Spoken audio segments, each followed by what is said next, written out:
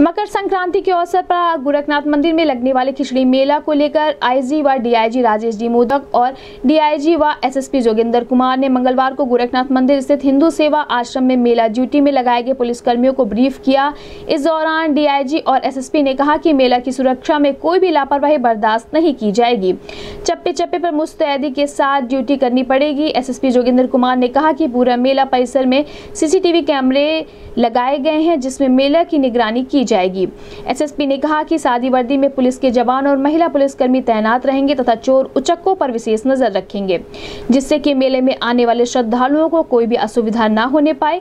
इस मौके पर पुलिस अधीक्षक नगर सोनम कुमार, पुलिस अधीक्षक यातायात आशुतोष शुक्ला सहित पुलिस के अन्य अधिकारी और पुलिसकर्मी मौजूद रहे। धर्मशाला पे जब हम डाइवर्जन लगाते हैं तो वहाँ पे कुछ गलियाँ हैं, वहाँ से लोग गाड़ी अंदर ले लेते हैं।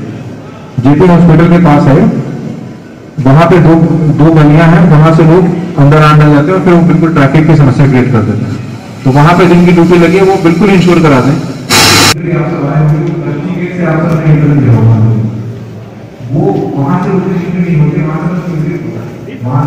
जाते हैं।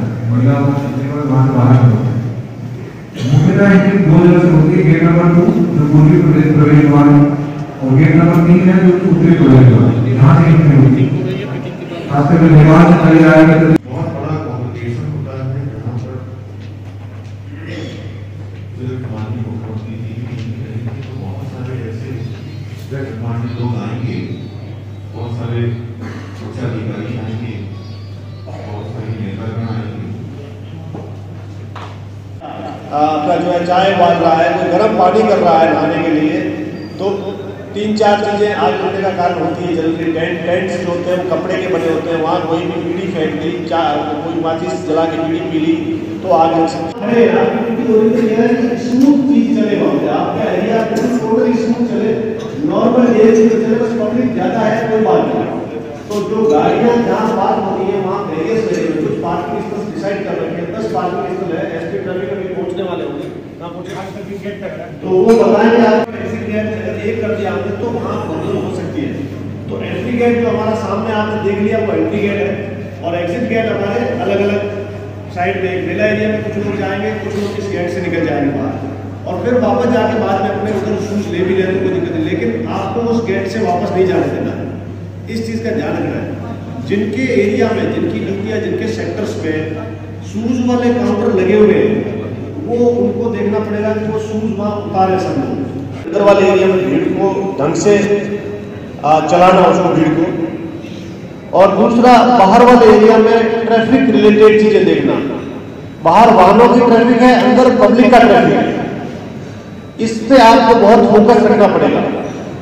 रीजन यह है कि कोई किसी तरीके की स्टैम्पीड जैसी घटना ना हो जाए। बाहर निकली नहीं है, अभी से भीड़ हो रही है, आप देख रहे हैं बाहर।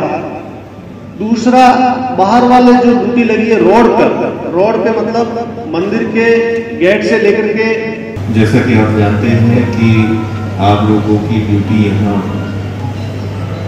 गोरखपुर में खिचड़ी महोत्सव जो होता है ट्रैफ़िक